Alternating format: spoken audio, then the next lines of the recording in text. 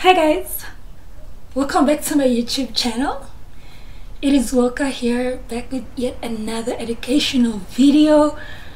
I hope you guys can sense the excitement because I'm literally super excited. Why? Because it's a topic that I love talking about.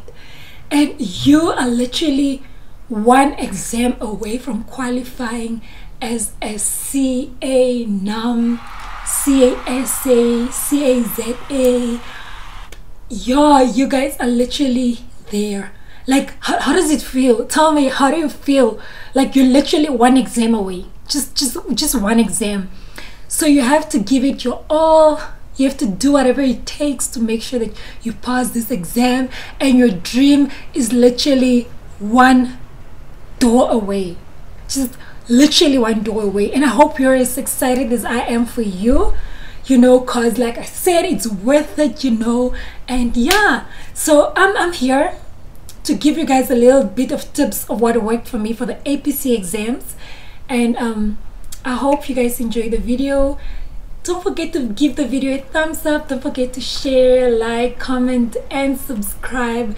And don't forget to let me know um, if you've applied these tips and if it worked for you. I like i like positive feedback.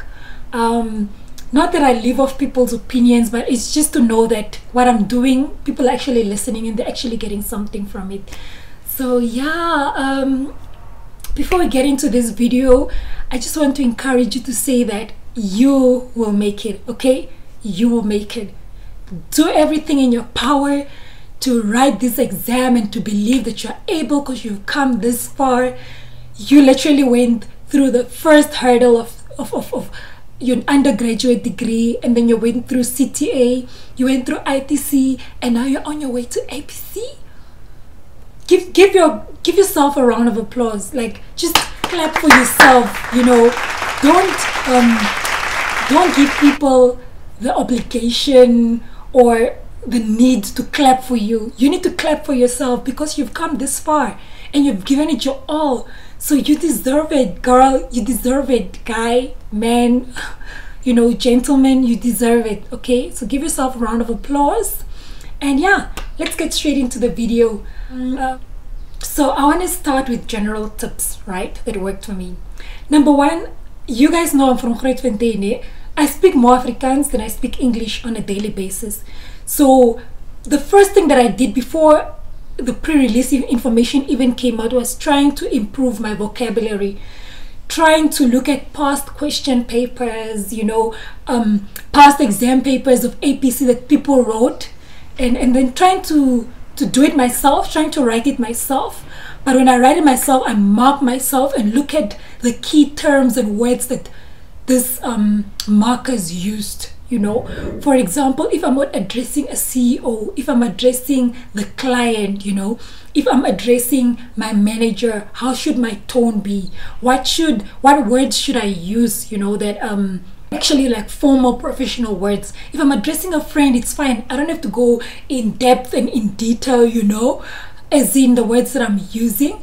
But um, for a CEO, what words am I supposed to use? You know, for um, a client, what words am I supposed to use? So these are things that I brushed up, okay? And then I also am trying to find out how do I do a proper industry research. So for my industry research, how would a proper one look like? Because usually I just used to go and Google the industry and put everything in my file, everything that I find about that. If it's mining, I'm gonna literally Google mining in Namibia, mining in South Africa, and I'll put everything in my file without even understanding what exactly am I supposed to do with industry research? What does industry research um, entail? You know, so one thing I realized is when you do your industry research, you need to look at the strength, weaknesses, opportunities, and threats of that company. So you do a SWOT analysis. Then you uh, the PESTEL, PESTEL, P E S T E L. So political environment, economical environment, social environment, um, technological. What type of technology is in this industry? Is it more like human capital or is it more like um, machines you know? Like just literally getting an overall understanding of this industry that my company is falling in you know? And at the same time i used um, my company okay i'm in namibia right? What is happening in namibia in this specific industry? What is happening in south africa in this specific industry? What is happening in zim in this specific industry you know? And then i used to get an understanding what what is my company good at you know? Um literally what type of technology do i think they will have you know? What type of uh, laws and regulations do i think they need to comply with you know? If it's a pharmacy um what type of act governs pharmacies? What type of standards specific standards maybe in accounting that governs my specific um entity you know? Just like a, a brief overview of this industry you know? And don't assume your audience know. So that's one thing i had to tell myself that just because they say that your cfo or your group financial manager is a ca doesn't mean they know everything. So you need to give them an in-depth understanding you know of the standards of everything. So don't be like okay i know the ca must know is1 and is2 you know? So i'm just to tell them the basics because the rest they're supposed to know their cas that's why they say for a reason no in APC, we don't do that. You assume everybody doesn't know unless they tell you that they know this part and exclude that part, then you can assume that they know. Get um, to the five day before you write exams. So on day one, when the pre-release information comes out, what I personally used to do is um, I used to read the moment the pre-release information comes out I print the pre-release. I start reading through the pre-release and then I start identifying triggers. First I read it once, then I read it twice. The third time I start identifying triggers.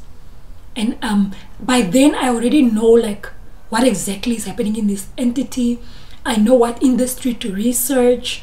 I know what this company has, what they don't have, what the problem is, probably probably what you know triggers they've raised you know they've triggered on that um, pre-release information. And then that's like the first one to two three hours you know and then i meet with my group my first group. Now there's no limit to how many groups you can be in. You don't want to be in too many you also don't want to be in too little.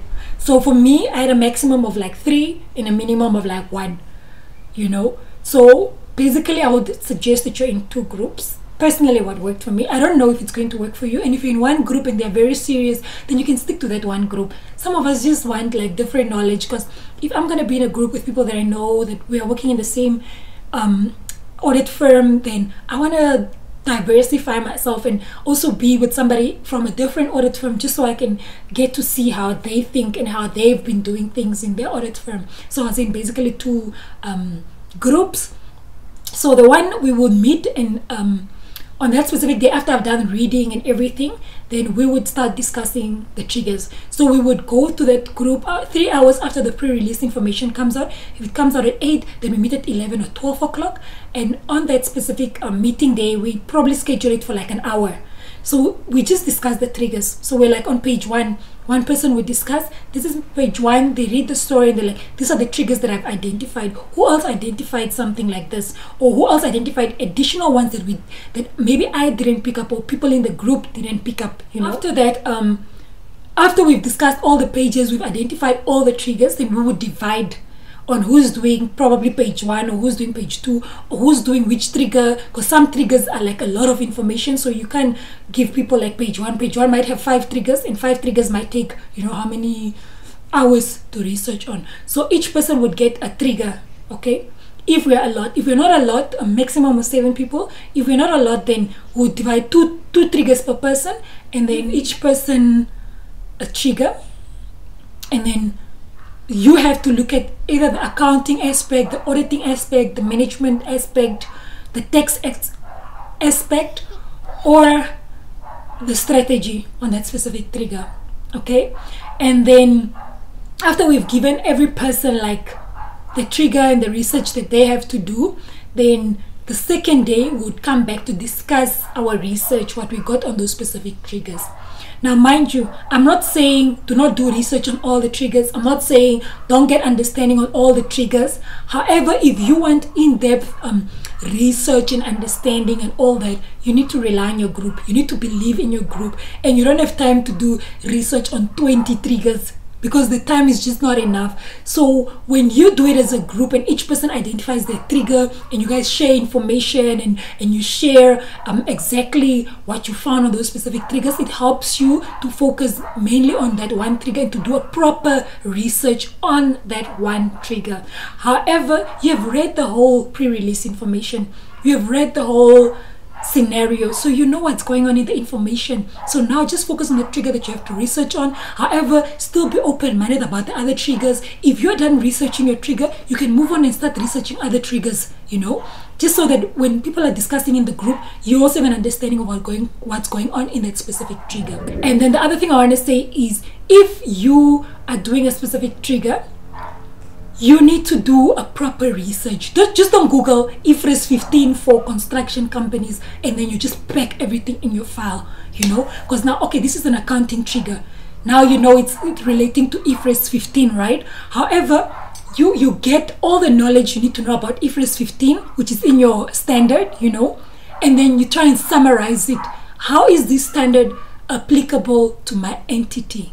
The entity that I'm writing about now what are the performance obligation? Is, is, is, is, the, is the revenue supposed to be recognized over time or at a point in time for my specific entity? Don't just put in everything about the standard like how we did it in CTA and ITC and just theory dump everything. This is not theory dump. This is an understanding. This is you explaining to your manager, to your CEO, to your client what exactly is supposed to have happened based on the standard. So you need to apply that standard to a specific entity. Yo guys, these dogs don't want me to prosper today. Like, why are they barking? oh yeah, you need to make that um, trigger specific to your entity, okay? If you're doing like, uh, you have to do an audit maybe about the revenue process or the inventory process about your entity you need to make it specific. What are the products that i'm selling? Okay? What are the products that are sitting in my inventory?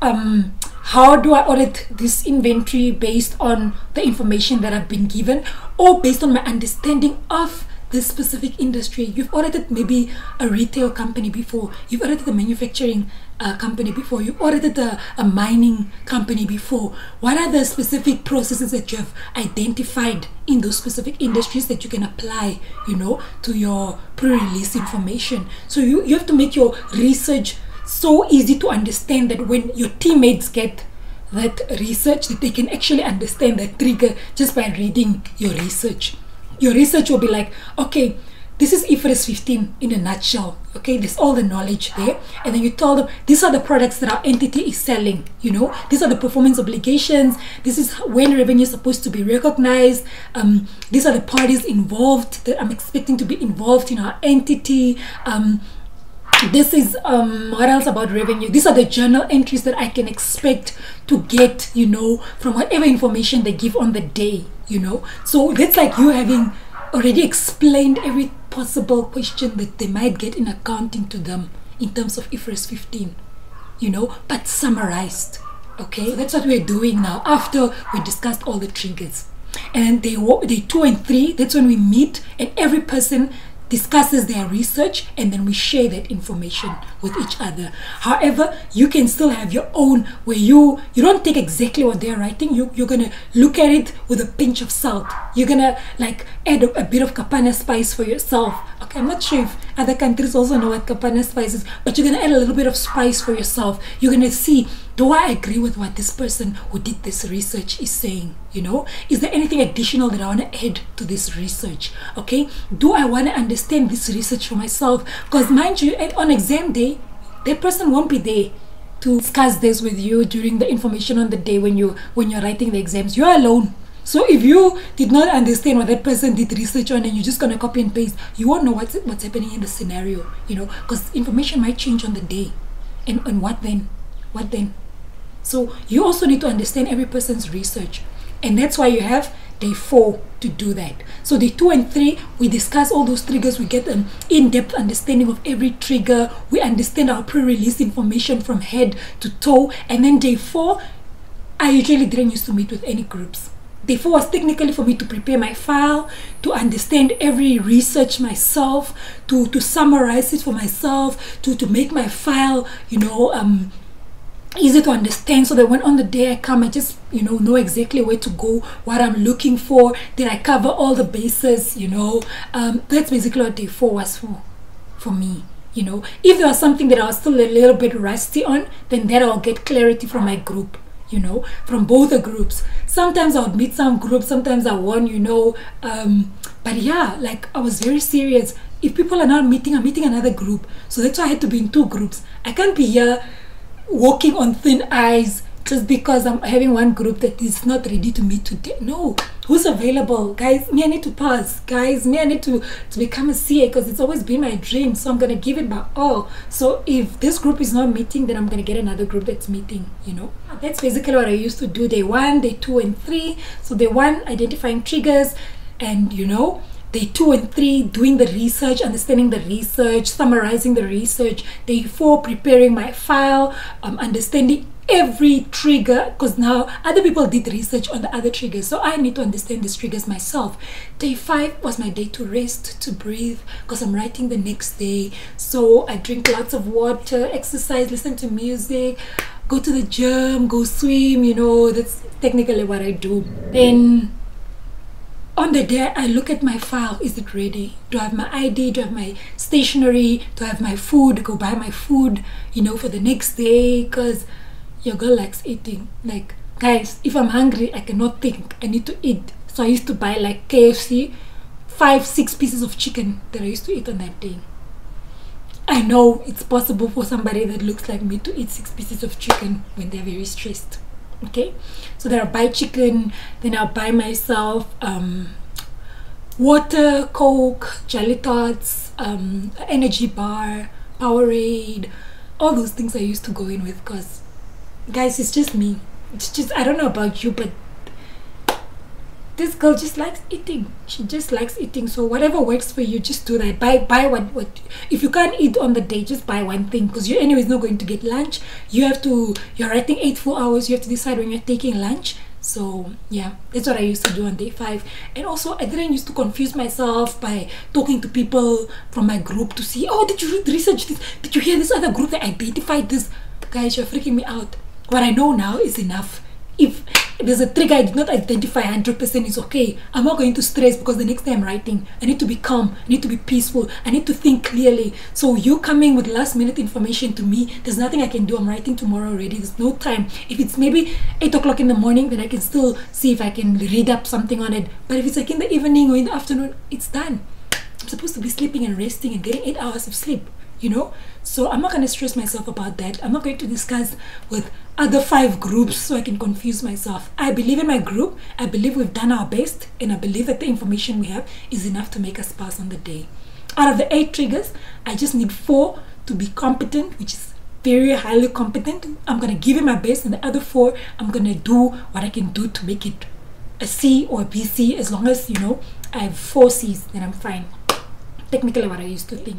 And then on the day, I would come and arrive and put my food down, pack my table neatly, ready to type. I would make sure that this nails is cut because I need to type fast. There's no time to be slaying, to be looking good for who and for what. I first have to become a CA, then I can slay most. The time will come, but the time is not now. The time is not now. Now it's time to write exams. So my nails are short.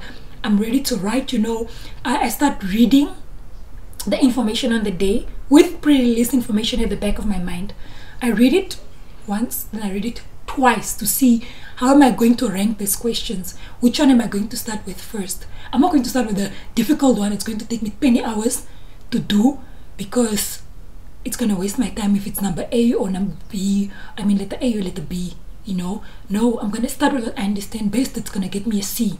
So I rate them according to out of the eight triggers, which one am I going to start with first? If D is the easiest and is gonna understand more, and this is the one that's going to make me score a competent, then I'm gonna start with D.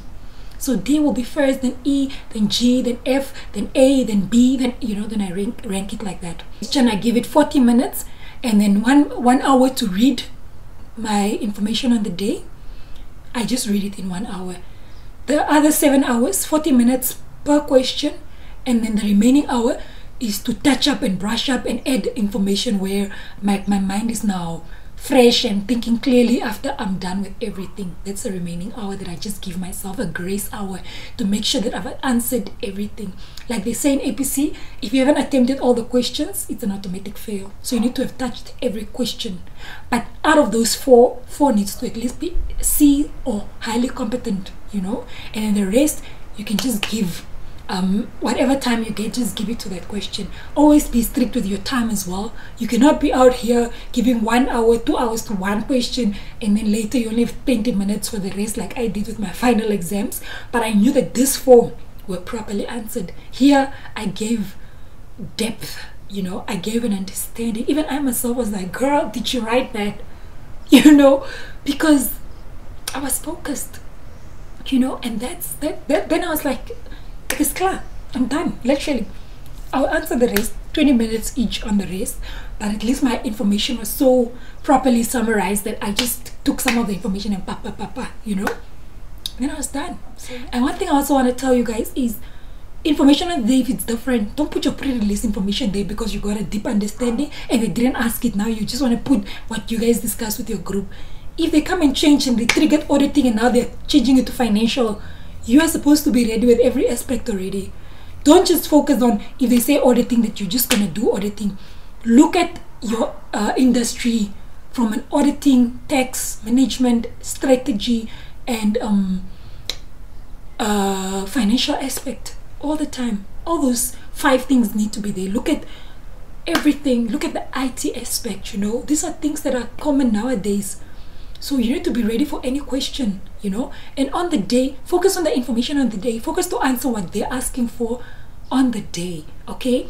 And make sure that whatever every question is asking for, you have addressed it because it automatically pushes you to a BC if you didn't address all the questions the finance manager is asking. So the finance finance manager was like, okay we're in this um retail industry so i was thinking the implication of is2 on what will the auditors come look at, you know, on IS2 inventory? Our recognition policy and um, maybe the assertions of accuracy and valuation, you know. So, and I was also thinking, uh, apart from the auditors, how are we supposed to recognize the inventory that we audit from abroad? Can you also add um, how we can best improve our inventory um, system and our inventory from being so susceptible to fraud and to theft, you know. So mind you, this by this time already the finance manager asks you three questions. What will the auditors look at? Well, how are we supposed to recognize um, inventory that we bought from abroad? Should it be part of our inventory? Shouldn't it be at spot rate? At what rate? You know, that's already one. Number three, I was also thinking, how do we improve our systems so you need to have, to identify those systems. What needs to be in place? Um, is the password? Who, who needs to have access to this inventory? How many people count the inventory? How's the inventory listing prepared? What, what suppliers do we use to order this inventory? You know, like just just imagine this is already everything that you were supposed to have answered in that specific trigger. Now you are just like, yeah, I know the financial part. I'll answer the financial part. You leave out the auditing and you leave out the um, improvement of the systems. That's an automatic BC no matter how deep you go with your financial, no matter how much information you give, you automatically fall to a BC. So you need to make sure that you've addressed every single question in that specific trigger you know and in that specific um paper.